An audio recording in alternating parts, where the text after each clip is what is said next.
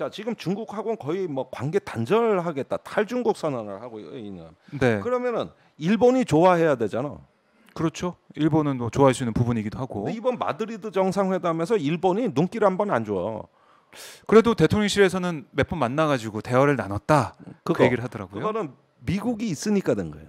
아, 한미일이 만난 건데 원래는 우리가 하도 일본이 안 만나겠다 그러니까 네. 저기 이건 비사인데 대통령실이 외교 경로를 통해 가지고 일본에다는 건 그럼 약식 정상회담이라도 음. 하자.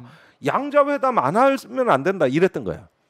꼭 만나야 된다. 근데 어떻게든. 출발하기도 전에 일본은 관심 없다 그래놓고 실제 가서 저기 어, 니들하고는 안 만나. 이래가지고 음. 약식 정상회담도 없었던 거야. 못했죠. 처음에는 정식 회담 해달라 그러니까 음. 안 돼. 무슨 정식 회담이요? 그러니까 그럼 약식이라도 그것도 안 돼. 네. 미국이 있는 자리에 거긴 가. 아, 이래가지고 한미일, 삼자 정상회담을 한 정상회담. 거고 그것도 20분 만에 끝났고 20분 했으면은 어떤 내용이 안 보여줘. 20분 통역 저- 빼면은 어, 내가 다 종합해 보니까 네. 한 가지 삼자 간에 그 저 입을 맞춘 거는 네. 동북아에서 북한의 위협에 대해 삼국이 공동으로 대비해야 된다. 이게 제일 중요하다. 요거 한마디고 음. 나머지 발표 시간에 보니까 10분 넘게 발표했거든. 네. 그럼 25분 회담에서 10분 발표 시간 빼고 음. 그리고 각자 자기 얘기하고 끝난 거요. 정말 이- 얼굴 2kg 간 거네요. 그랬는데 네. 이렇게 보면은 이게 상당히 심각한 문제가 있는 거야. 음. 중국하고는 탈중국한다고 얼굴 붉혀. 일본은 아예 얼굴 자체를 안 쳐다봐. 네. 북한은 뭐 남북 대화 될 리도 없어. 음. 지금 이- 우리 정부가 고립됐잖아. 음. 고립돼 있는 거 아니야. 네. 그런데도 윤 대통령은 가서 만나기만 하면 뇌에서 도파민이 팡팡 나오거든. 황홀경에 빠져서 돌아온단 말이야. 이게. 네. 어? 지금 이런 상황에서 가만히 오는 날 보니까 네. 신정부 출범하고 보니까 완전히 동아시아 동북아에서 우리가 고립돼 있는 거야 이게.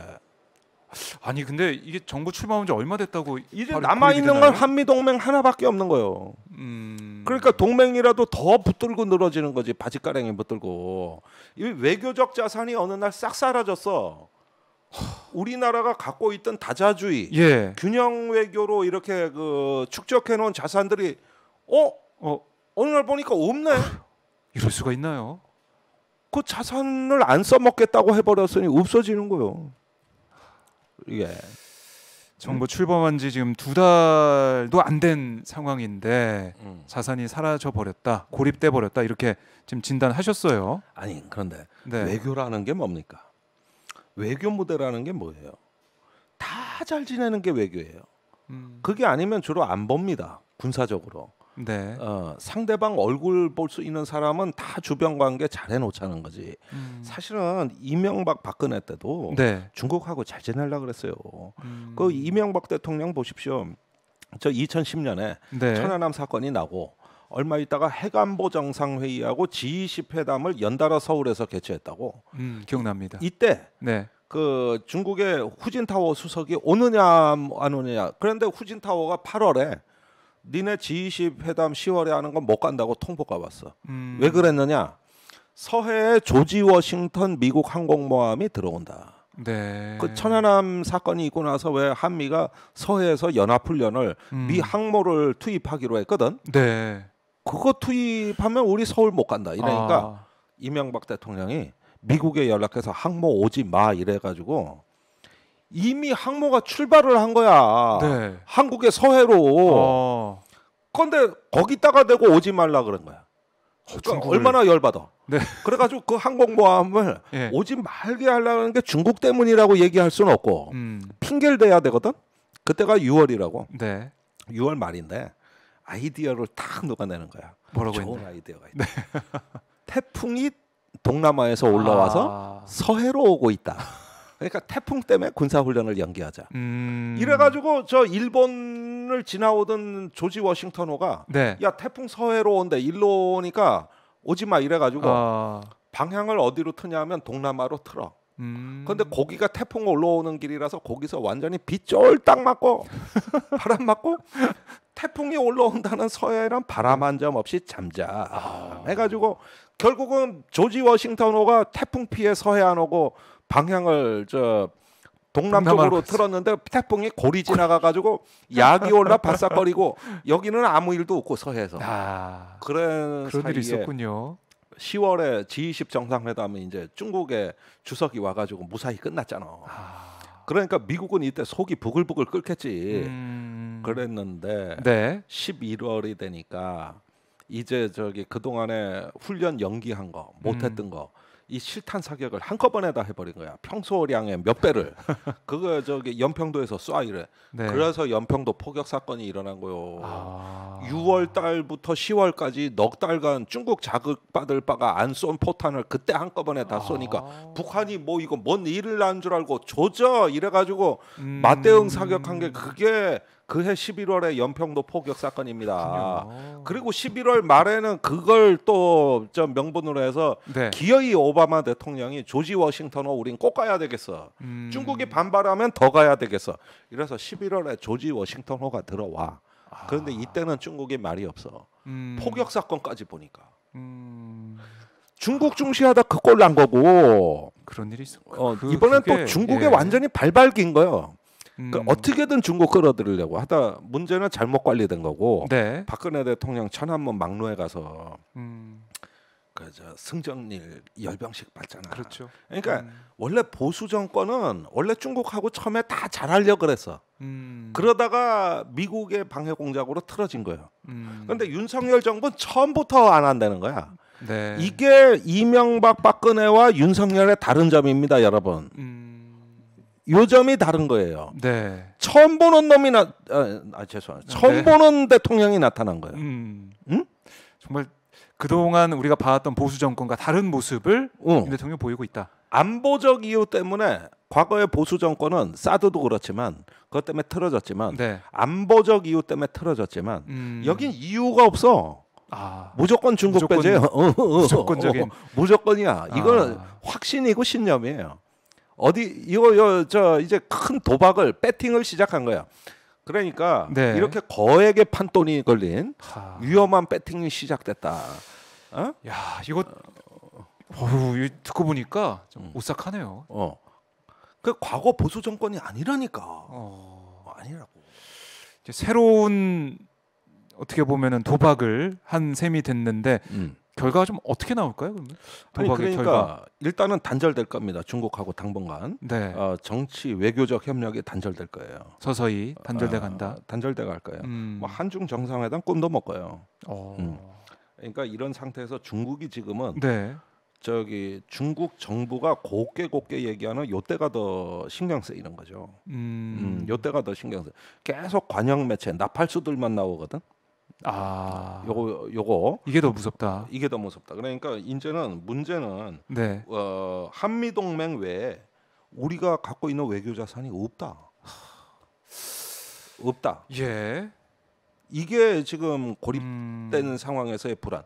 그러니까 세, 전 세계하고 잘 지내는 게 경제 안보입니다, 여러분. 네. 자꾸 경제 안보, 경제 안보 그러니까 동맹 얘기하는데 음. 기존의 우리 시장과 기술 주권과 핵심 물자의 유- 수급을 잘 관리하는 거 이게 동 이게 경제 안보 아닙니까? 음. 그렇죠. 근데 왜 막 끊어버려? 그래서 이번에 이제 대통령실 얘기한 것은 이 음. 경제 안보 얘기하면서 원전 세일즈, 음. 이른바 세일즈 외교를 잘했다라고 여러 가지 성과를 뭘 내놓더라고요. 그건 어떻게 보세요? 대통령실 아니, 설명. 아니 성과 한 냈다. 적이 없는 걸 한다 했다 그러니. 어. 그리고 무슨 갔다 와가지고 윤 대통령이 그랬잖아요. 하, 네. 국제 정치에 총성 없는 전쟁을 봤다.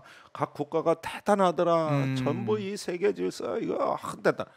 아니 그건 우리가 가기 전부터 다 얘기했던 거요. 그 나토 전략 개념 봐. 네. 그러니까 그런 거 보러 갔다 뭐 이게 무슨 수학 여행 갔다 온 거예요.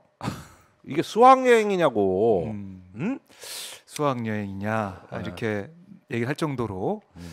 아, 이번 그럼 성과는 없었다라고 보시는 거예요? 이번 아니 그러니까 그런 현장을 봤다. 예. 그 대통령이 경각심을 가졌다. 그것도 음. 성과라면 성과지. 음, 아니 뭐 굳이 성과를 없다고 얘기할 필요는 뭐 있습니까? 네. 근데 내가 이 정도 할 줄로 하면은 지지율이 오를 줄 알았는데. 아, 근데 도착하자마자 기자들이 지지율 떨어지셨던데요? 이렇게 얘기를 해버리니까 빡친 거 아니에요? 어? 예, 데드 크로스. 어, 근데 본인은 엉뚱한 데서 황홀경에 빠져가지고 음. 자기의 국격과 서열을 높였다고 생각을 하시는 거야. 외국 정상들 많이 또 만났으니까 어쨌든 얼굴을 사진 찍는 거 봤으니까 무지한히 좋아해. 뭐 보여주는 거 이거 어, B컷도 나왔더라고 비하인드 컷 해가지고 어. 올라오던데. 사족을 못 쓰는데. 근데 그거는 그 예. 사람 취향이라면 그렇다 치자고. 아, 음. 자기가 좋다는데. 네네. 예, 저는 그 너무 저기 음. 이렇게 정부를 까대는 거에도 저는 뭐 큰 관심은 없어요. 제가 네. 보는 건 뭐냐면은 우리는 어디까지 와 있는가, 음. 우리 주변 정세는 어떻게 흘러가고 우리는 지금 어디로 가고 있는가 이걸 자꾸 보자고 하는 거요. 중요하죠. 그러니까 그걸 봐야 되는데 왜 음. 그걸 가리키는 손가락만 갖고 자꾸 네. 이걸 갖고 얘기를 하자면 나는 김건희 여사가 뭔 옷을 입었든 뭐 음. 또뭐 나는 다 있을 수 있는 일이라고 봐. 네. 그리고 뭐 저기 뭐냐 여기저기 다녔다 아 있을 수 있는 일이라고 봐. 음. 그런 거 갖고 뭐라 얘기 안 해요. 네. 언론은 그런 것만 좋아하던데 그리고 음. 그렇게 할 수도 있는 거예요. 지금 문제는 그게 아니라 달을 봐야지 왜 자꾸 우리가 음. 손가락을 지금 우리가 어디까지 와 있는 거야? 지금 우리 외교 자산은 고갈돼 있고 먹고 사는 문제가 어떻게 돼간다는 어. 거예요 지금 이게. 예? 그러네요. 예. 이 외교 안보도 그렇고 경제적인 문제도 그렇고 예. 지금 거의 파탄이 나고 있는 상황이다 이렇게 볼 수가 있는데. 아, 그러니까 도착하는 날 뉴스가 뭡니까? 외환 보유고액 어? IMF 이후로 최대 빠르게 나가고 사상 최대 수출 적자에 네. 인플레 지금 뭡니까 신음하고 있는 이때 뭐가 저기 그 성과를 올렸다고 자랑질이냐고 지금 그 문제가 아니잖아 여기가 중요한 게 네. 에? 가서 원전을 팔았어 뭐 뭐 반도체를 팔았어 음. 기업이 다 하고 있는데 가서 그 저기 저기 뭐 한번 사진 찍은 거 가지고 뭐 새로운 협력하기로 했다. 소식도 없고. 뭐 그러니까 이렇게. 그런 것들은 그렇게 하라 이거예요. 음. 그러나 우리는 지금 달을 보자 이거예요. 네. 음. 좋습니다. 자, 이제 김종대 우리 교수님과 말씀 좀 들어봤는데 정말 어느 언론에서도 음. 짚어주지 않는 그 정말 깊은 음. 또이 속뜻을 하나씩 저희가 짚어봐가지고 아마 보시는 분들도 와나 감탄을 좀 하시는 것 같은데 음. 그래서 김종대 뻥 뚫리는 TV를 네. 구독하셔야 말씀 제가 다시 한번 예. 드리겠습니다. 뻥 뚫려. 뻥 뚫려.